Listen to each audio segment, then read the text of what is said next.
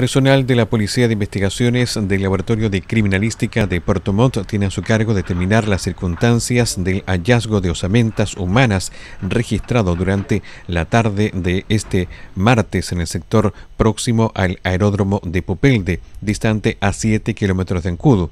En el lugar, según se precisó, las obras de ensanchamiento de la pista ameritaban el trabajo de máquina pesada. Fue en estas circunstancias cuando se percató uno de los operarios de la presencia de osamentas humanas, además de otros elementos que forman parte actualmente de la investigación para determinar eventualmente la identidad de los restos encontrados. las personas de la máquina lo, que están trabajando en la retro, no me recuerdo este minuto qué empresa es, pero, pero son dos máquinas y uno de ellos lo encontró. ¿Fueron a avisar a usted? O sea, me llamaron a mí y yo vine a como a cumplir mi papel, digamos. y vine a presentarme, vi el cuerpo y todo y de enseguida llamamos a Carabineros.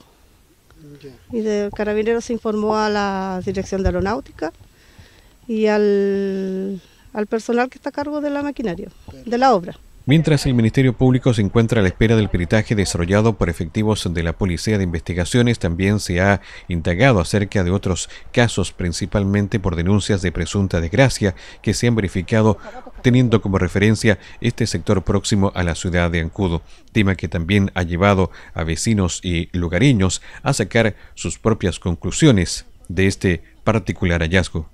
Y no sé si es overol o chaqueta corta la que andaba trayendo azul de... de y con su, Azul se ve igual. O sea, el, completo es como un overol. Ya, como un overol. Sí. Y, y su hachita que se ve encontraba al lado del, del cuerpo. Ya.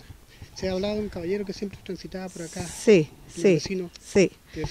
Los vecinos, bueno, los que yo alcancé a conversar con, con mi vecino, que la, la, información que me dieron fue esa, que era de una persona que entraba a buscar leña, siempre andaba con su hachita y desapareció de un rato para otro.